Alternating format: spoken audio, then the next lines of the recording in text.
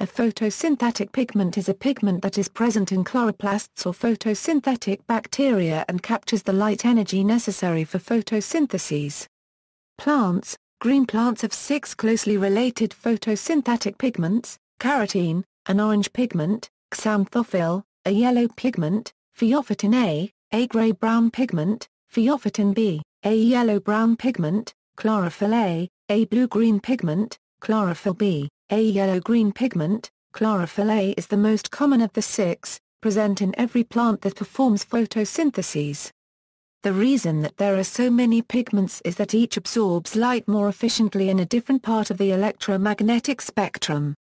Chlorophyll absorbs well at a wavelength of about 400 to 450 nanometers and at 650 to 700 nanometers chlorophyll B at 450 to 500 nanometers and at 600 to 650 nanometers xanthophyll absorbs well at 400 to 530 nanometers. However, none of the pigments absorbs well in the green-yellow region, which is responsible for the abundant green we see in nature. Bacteria, like plants, the cyanobacteria use water as an electron donor for photosynthesis and therefore liberate oxygen. They also use chlorophyll as a pigment.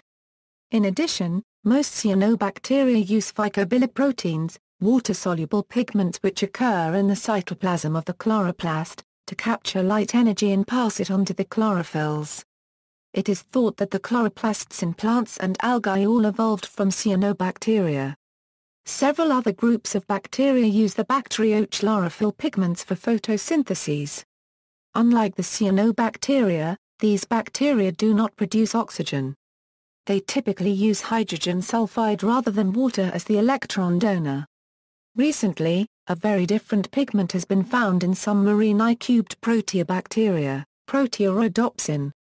It is similar to and probably originated from Bacteriorhodopsin. Bacteriochlorophyll B has been isolated from Rhodopseudomonas spp but its structure is not yet known. Algae, green algae, Red algae and glaucophytes all use chlorophylls.